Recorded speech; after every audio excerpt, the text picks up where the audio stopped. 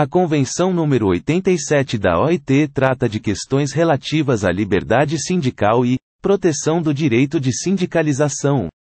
Corresponde à conduta que contraria a liberdade sindical a previsão pela legislação nacional dos países membros da OIT.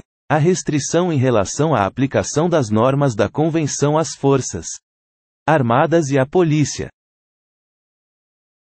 Analisando a questão, você responde: verdadeiro ou falso? O gabarito é falso.